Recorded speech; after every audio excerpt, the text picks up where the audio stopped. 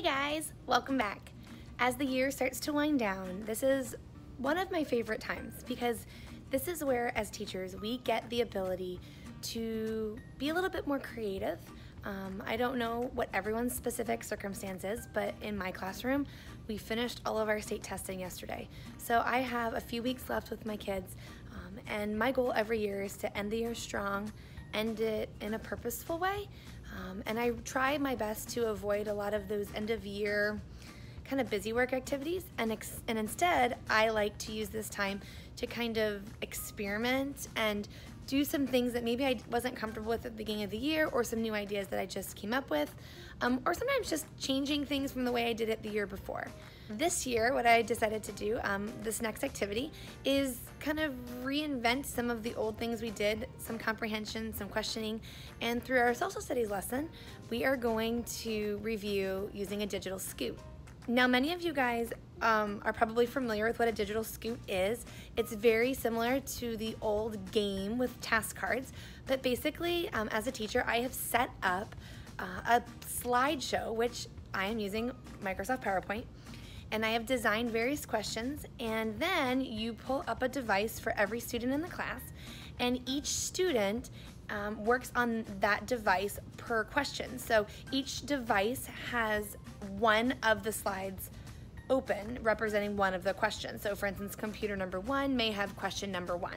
Computer number two has question number two, so on and so forth. Um, and the students answer each question and then they scoot to the next computer. They actually physically get up and move and they go to the next question.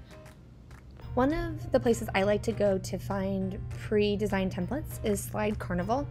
And it's a really great website. You can search by specific things like color or styles. Um, you can also just go to the all templates and search all of them.